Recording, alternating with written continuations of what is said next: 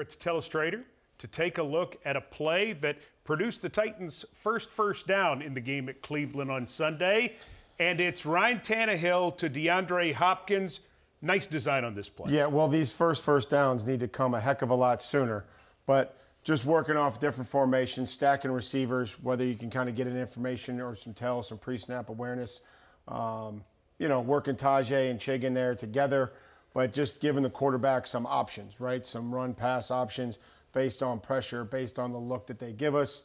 Um, but really trying to expand what we're what we're doing with motion uh, and, and, giving the guys some options. And again, you can see here uh, before the ball's even snapped, you know that the secondary, one guy's looking to run, one guy's looking to adjust, and and they both kind of go.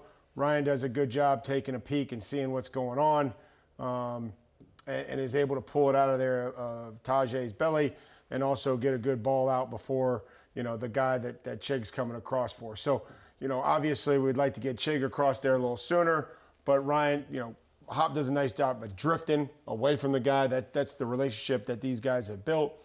Is maybe not just working straight up the field, but drifting a little bit to give Ryan an angle and an opportunity to throw, you know, away from anybody that's kind of coming back over there.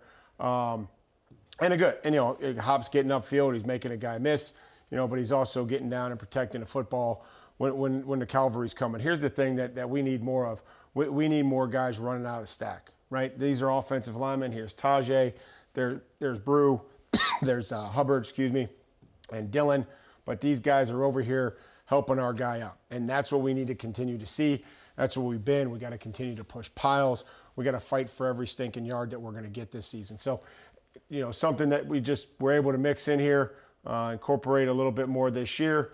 Um, you know, let it run here, and you could kind of see the flow uh, of the action, and then giving the quarterback some options, you know, to be able to hand it off or throw it out there um, to, to Hop or whoever ends up being out there. Good stuff, Coach.